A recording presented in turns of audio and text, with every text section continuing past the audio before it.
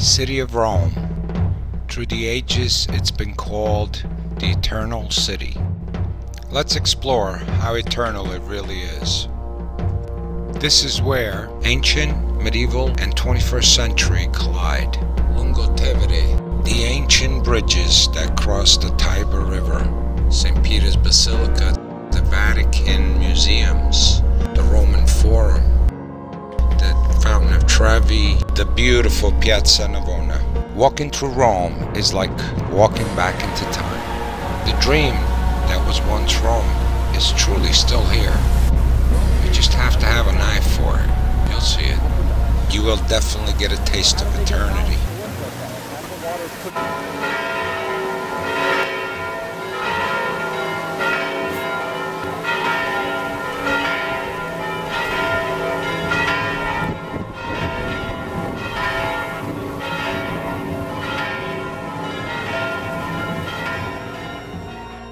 We are making our way to the Colosseum today.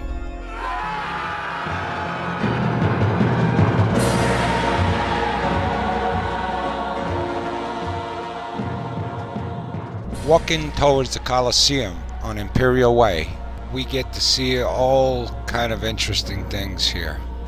And there it is, built by Emperor Vespasian Flavius. Started in 72 AD and completed in 80 AD. The most grandiose arena in the Roman Empire, known by the ancient world as Flavian Theater. It's the largest stadium of all antiquity. It measures 620 feet long, 512 feet wide, 158 feet tall. It's as tall as a 17 story building, and it occupies 6 acres of land. It can hold 50 to 70,000 spectators depending who you ask. 80 entrances, and each one was numbered. The number will correspond with a ticket just like stadiums today. The arena is the same dimensions as a soccer field. Out of the four floors, the first three had 80 enormous arches that contained 16 foot statues. It was built oval shaped and not circular to contain more spectators. It's two Greek theaters back to back and formed a new standard of amphitheater. Today, it's only a skeleton of what it once was. It was totally covered with slabs of marble, and to affix them to the walls, that we use marble nails, not made of metal, to prevent the rust staining the white marble. It's been standing for 2,000 years, and it was amazingly built in less than 10 years. Using 12,000 Jews who came as slaves of Titus, were later freed and established themselves in the area of Rome known as Trastevere, meaning other side of the Tiber River. Caesar allowed them public meetings. Cicero recognized their importance as traders and artisans. But how did the Romans accomplish such a feat? It was a trick they knew very well and repeated over and over again, and that was the arch. Just like some aqueducts, arches on top of arches. This way the forces would be weighed towards the ground. It took 100,000 tons of marble, 300,000 tons of iron.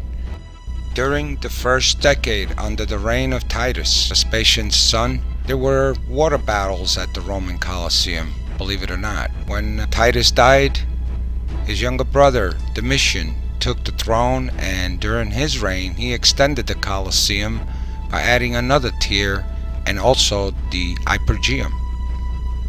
It was a vast network of rooms, cells, tunnels and passages under the wooden floor of the arena.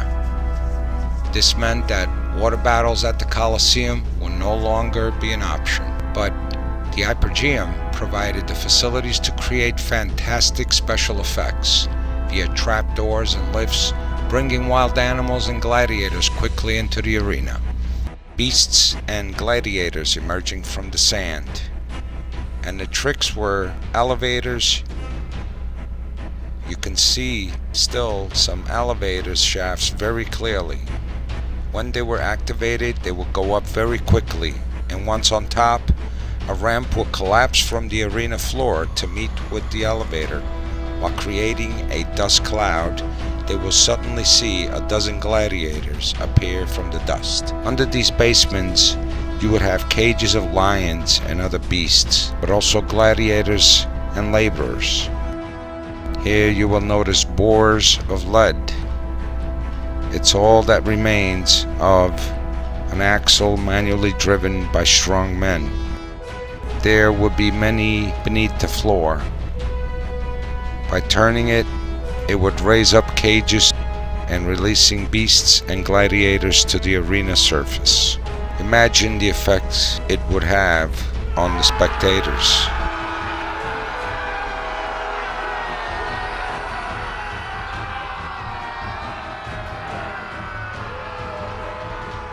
They have a model display of what the system may have looked like.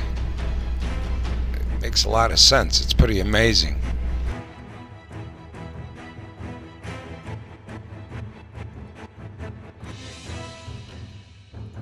As we go on the upper level, we enter a display area and we find something very interesting. There's an awning on top of the Colosseum called Velarium. It was a type of an awning used in Roman times. It stretched over the whole of the seating area in the Colosseum. It provided both shade and slight protection from the rain. Although the main use of the Velarium was to create a ventilation updraft creating circulation and a cool breeze, just like the uh, Oculus in the Pantheon. Precisely how it was supported is a matter of many opinions. It could be extended or retracted with ropes and pulleys according to the position of the sun, the original Roma shades.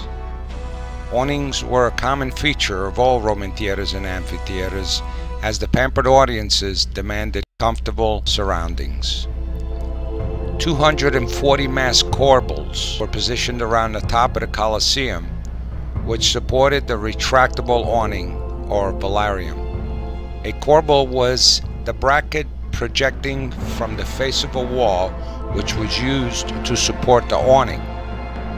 The sockets where they stood can still be seen. The velarium or awning covered over one third of the arena of the Colosseum and sloped down towards the center. The panels of cloth that the awning consisted of would have been tapered. At the top floor of the Colosseum, there's a display, if you want to call it, um, of uh, artifacts found during the diggings of the Hypogeum and some were just brought here that were found in other places. It's real interesting to see. It's a quick walk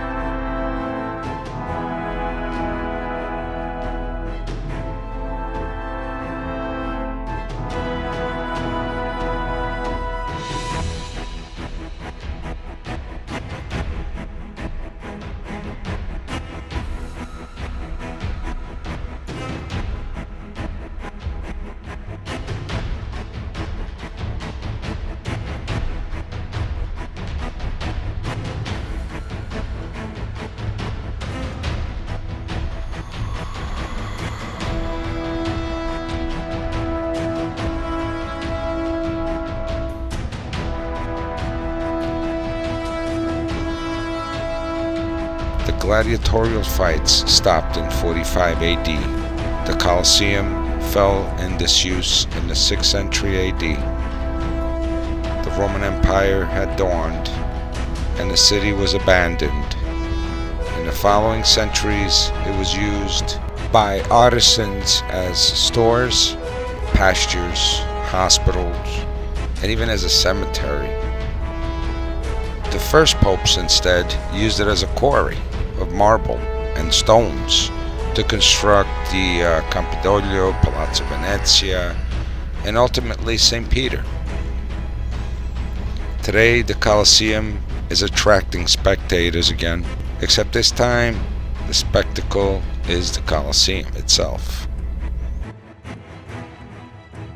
The 1349 earthquake knocked down the southern facade. It created a pile of limestone that local builders began to plunder. Every bit of iron was scavenged from it, pulling all the clams that held the travertine in place, and further destabilized the structure. Till this day, nothing is holding the Colosseum together except gravity and good design. I hope you enjoyed this fantastic place. Let's have a great future as we learn from the past.